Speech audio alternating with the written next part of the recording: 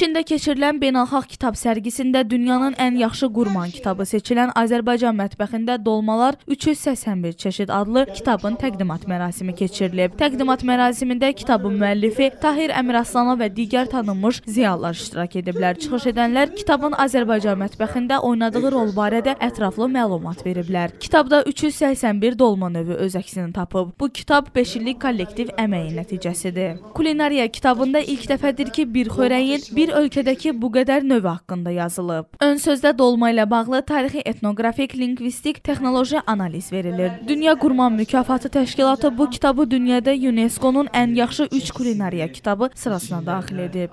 12-ci ildə Novruz bayramında biz dolmanın UNESCO-nun qeyri-maddi mədəni irs siyahısına salınması haqqında çox hörmətli Mehriban xanım Əliyevə müraciət elədik və o bizi dəstəklədi, dedi eləyəcəyik.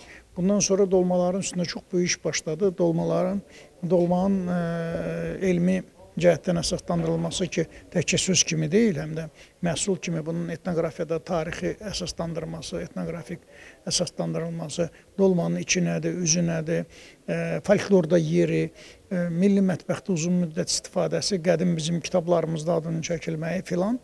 Yəni bunlar çox böyük bir mərhələ keçdi, əsaslandırıldı. 10 dolma patentə cəlb olundu və biz e, patentlərini onlara qoruduq.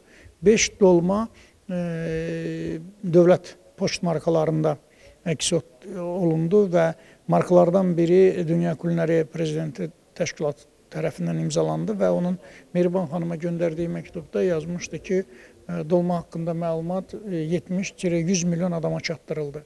Kitab artıq Best in the World hesab edilir və bu kitabın üzərində də göstərilib. Qeyd edək ki, dolma nüsxələri Azərbaycanın bütün rayon, kənd və şəhərlərindən toplanıb.